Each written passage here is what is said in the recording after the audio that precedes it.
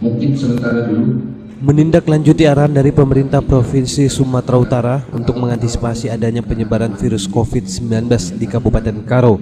Pemerintah Kabupaten Karo akan membentuk tim satuan gugus penanggulangan virus COVID-19.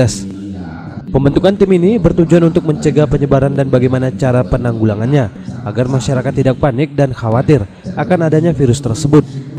Dalam tim ini nantinya akan ditentukan pihak-pihak yang bertanggung jawab di beberapa bidang, mulai dari bidang pencegahan, bidang sosialisasi, dan beberapa bidang lainnya.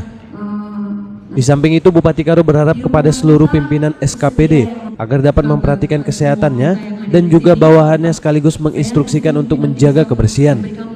Kita rapat hari ini adalah bagaimana kita menyikapi gugus tugas penanganan penanganan virus corona yang sekarang lagi merebak ini karena sudah mendunia. Oleh karena itu kita pemerintah Kabupaten Karo bersama seluruh pimpinan SKPD ya rapat untuk mengantisipasi itu dan hasil rapat tadi itu apa siapa berbuat apa telah kita rumuskan besok kita rapat lagi dengan Prokopimda karena baru setengah jam yang lewat kita dapat surat dari uh, Provinsi Sumatera Utara membuat struktur organisasi mengenai penanganan virus tersebut.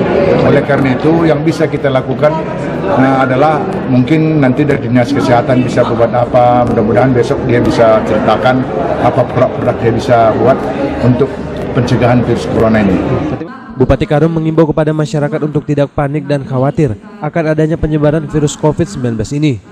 Pihaknya mengajak masyarakat untuk tetap menjaga kebersihan dengan mencuci tangan yang bersih dan menjaga kesehatan untuk terhindar dari virus COVID-19.